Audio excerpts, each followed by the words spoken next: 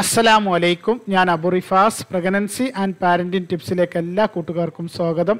Channel subscribe ചെയ്യാനും നിങ്ങളുടെ കൂട്ടുകാരിലേക്ക് share ചെയ്യാനും എല്ലാവരോടും അഭ്യർത്ഥിക്കുന്നു.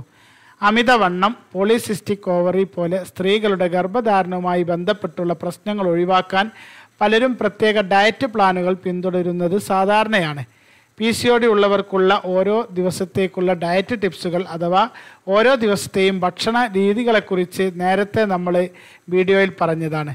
പലരും അത് ഫോളോ ചെയ്യുകയും ഫലം കിട്ടുകയും ചെയ്യുന്നുണ്ട്. സ്ത്രീ പുരുഷ വന്ധ്യതാ പ്രശ്നങ്ങൾ പരിഹരിക്കാൻ ഏറ്റവും പ്രധാനപ്പെട്ട ഒരു വഴി കൂടിയാണ് ആരോഗ്യകരമായ ഭക്ഷണ രീതികൾ പിന്തുടരുക എന്നുള്ളത്. നമ്മുടെ ചാനലിലെ ഓരോ വീഡിയോകളിലും നിർദ്ദേശിക്കുന്നതും നിങ്ങളുടെ ഭക്ഷണ രീതികളിൽ ശ്രദ്ധ കൊടുക്കുക അത് ആരോഗ്യകരമായ ഭക്ഷണ രീതി പിന്തുടരുക എന്നതുമാണ്. ഭക്ഷണമാണ് നമ്മുടെ മരുന്ന് എന്ന നയത്തിൽ ഉറച്ചു നിന്നുകൊണ്ട് തന്നെ നമ്മുടെ ആരോഗ്യം കീപ്പ് ചെയ്യാനും പ്രത്യുൽപാദന ശേഷി ഉയർത്തിക്കൊണ്ടുവരാനും കഴിയും എന്നതിന്റെ ഏറ്റവും മികച്ച ഉദാഹരണം കൂടിയാണ് നമ്മുടെ ചാനലിൽ വരുന്ന പോസിറ്റീവ് റിസൾട്ടുകൾ. നേരത്തെ പറഞ്ഞ പോലെ സ്ത്രീകളിലെ അണ്ടവളർച്ചയ്ക്ക് പി സി ഒ ഡി പോലെയുള്ള പ്രശ്നങ്ങൾ അതുപോലെ അമിതവണ്ണം ഇതൊക്കെ അകറ്റാൻ ഇതിനൊക്കെ പ്രത്യേകം ഡയറ്റ് സ്വീകരിക്കുന്നത് പോലെ തന്നെ പുരുഷന്മാരിലെ ബീജ വർധനവിന് ബീജത്തിന്റെ മോട്ടിലിറ്റിക്ക് ശുക്ലത്തിന്റെ അളവ് വർദ്ധിപ്പിക്കാൻ ഒരു ഡയറ്റ് പ്ലാൻ പറഞ്ഞു തരണമെന്ന് പലരും ആവശ്യപ്പെട്ടിരുന്നു. അതനുസരിച്ച് ഈ വീഡിയോയിൽ ആണുങ്ങൾക്ക് വേണ്ടി ഒരു ഡയറ്റ് പ്ലാൻ ആണ് പറയുന്നത്. ബീജങ്ങളുടെ എണ്ണം വർദ്ധിപ്പിക്കാനും ബീജങ്ങളുടെ ചലനശേഷി വർദ്ധിപ്പിക്കുക ശുക്ലത്തിന്റെ ഗുണനിലവാരം വർദ്ധിപ്പിക്കുക എന്നതിനു ഈ ഡയറ്റ് നിങ്ങളെ സഹായിക്കും. മുമ്പ് നമ്മുടെ വീഡിയോയിൽ പറഞ്ഞ പ്രധാനപ്പെട്ട ചില ടിപ്സുകൾ കൂടി ഉൾപ്പെടുത്തിക്കൊണ്ടാണ് ഈ ഡയറ്റ് പ്ലാൻ തയ്യാർ ചെയ്തിരിക്കുന്നത്. കൃത്യമായി ഫോളോ ചെയ്താൽ വേഗം ഫലം കിട്ടും. പിന്നെ ഒരു കാര്യം ഒന്നോ രണ്ടോ ആഴ്ച ഫോളോ ചെയ്ത് അതിനുശേഷം വൈഫിന് പീരിയഡ് ആയാൽ ഇതുകൊണ്ടൊന്നും ഒരു കാര്യവുമില്ല എന്ന് പറഞ്ഞ് നിർത്തിവെക്കേണ്ട അലോപ്പതി മരുന്നുകളല്ല കഴിക്കുന്നത്. പ്രകൃതി വിഭവങ്ങളായ നമ്മുടെ ഭക്ഷണങ്ങളാണ്.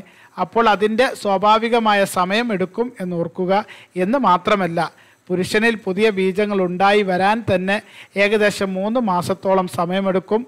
അതുകൊണ്ട് ക്ഷമയോടുകൂടി കൃത്യമായി ഫോളോ ചെയ്യുക. അപ്പോൾ നമുക്ക് പുരുഷന്മാരുടെ ഡയറ്റ് പ്ലാൻ നോക്കാം.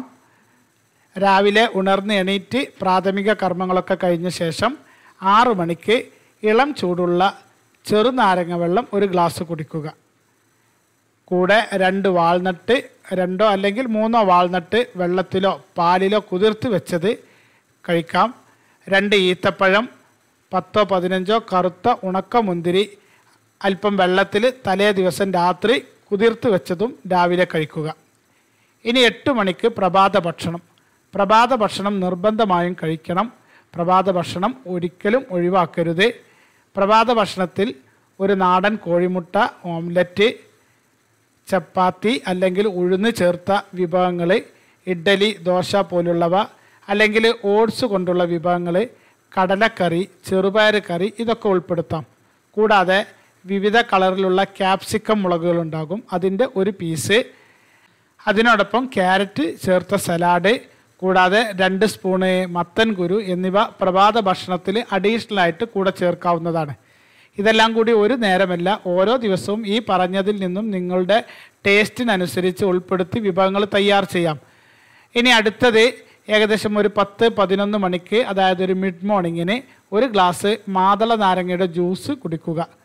ഉച്ചഭക്ഷണം അല്പം ചോറ് തവിടുള്ള അരിയുടെ ചോറായാൽ കൂടുതൽ നല്ലത്. അല്ലെങ്കിൽ ഗോതമ്പ് വിഭവങ്ങൾ. ഗോതമ്പ് നുറുക്കുകൊണ്ട് ചോറ് വെച്ചോ അല്ലെങ്കിൽ ചപ്പാത്തി ഉണ്ടാക്കിയോ കഴിക്കാം.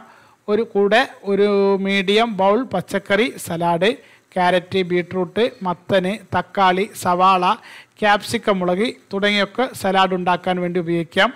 ചീര ചുവന്നുള്ളി കോളിഫ്ലവർ എന്നിവ ഉച്ചഭക്ഷണത്തിൽ പ്രത്യേകം ചേർക്കാവുന്നതാണ്.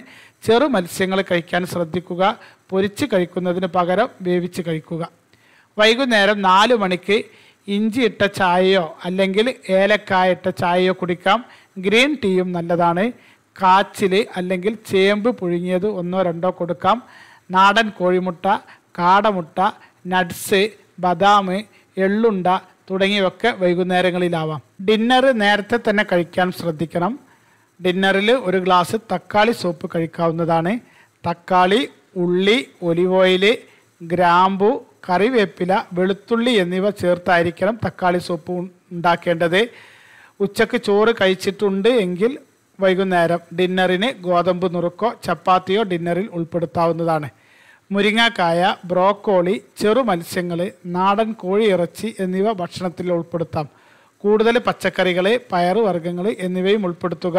ഓരോ ദിവസത്തെയും മെനുവിൽ ടേസ്റ്റിനനുസരിച്ച് മാറ്റി മാറ്റി സെലക്ട് ചെയ്യാവുന്നതാണ്. പരിപ്പ് വർഗങ്ങൾ പയറുവർഗങ്ങൾ റാഗി എന്നിവയും ഭക്ഷണത്തിൽ ഉൾപ്പെടുത്തുന്നത് നല്ലതാണ്. കിടക്കുന്നതിന് മുന്നേ ഒരു ഗ്ലാസ് പാലിൽ ഒരു സ്പൂണ് അല്ലെങ്കിൽ രണ്ട് സ്പൂണ് അമുക്കുരം പൊടി ചേർത്ത് തിളപ്പിച്ച് കുടിക്കുക. ദിവസവും ഒരു സ്പൂണ് കറുത്ത എള്ള് ചവച്ചരച്ച് കഴിക്കുക. പ്രഭാത ഭക്ഷണം നിർബന്ധമായും കഴിക്കണം. ധാരാളം വെള്ളം കുടിക്കുക. ഞെരിഞ്ഞിലിട്ട് തിളപ്പിച്ച വെള്ളം അല്ലെങ്കിൽ ഗ്രാമ്പു ഇട്ട് തിളപ്പിച്ച വെള്ളം ഉലുവ ഇട്ട് തിളപ്പിച്ച വെള്ളം എന്നിവയൊക്കെ ഓരോ ദിവസവും മാറി മാറി കുടിക്കാവുന്നതാണ്. ഷുഗർ ഉള്ളവർ വൈകുന്നേരം ഒരു ആറു മണിക്ക് മുക്കാൽ ഗ്ലാസ് നെല്ലിക്ക നീരിൽ പച്ചമഞ്ഞൾ ചേർത്ത് കുടിക്കുക. ഉപ്പ് കൂടുതലടങ്ങിയ ഭക്ഷണങ്ങൾ ഫാസ്റ്റ് ഫുഡ് ഭക്ഷണങ്ങൾ മധുരം ബേക്കറി പലഹാരങ്ങൾ കൊഴുപ്പടങ്ങിയ ഭക്ഷണങ്ങൾ അമിതമായ ചായ കുടി കാപ്പി കുടി എന്നിവ ഒഴിവാക്കുകയും വേണം. കൂടുതൽ വിശേഷങ്ങളുമായി മറ്റൊരു വീഡിയോയിൽ വരാം. എല്ലാവർക്കും നല്ലൊരു ദിവസം നേർന്നുകൊണ്ട് നിർത്തുന്നു. അസ്സലാമു അലൈക്കും.